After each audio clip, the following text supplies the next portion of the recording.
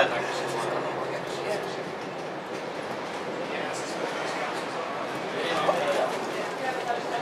Yeah, someone's got quite a collection of wood there. you always get strange stuff going on in uh, life. Oh, ex-council estates, like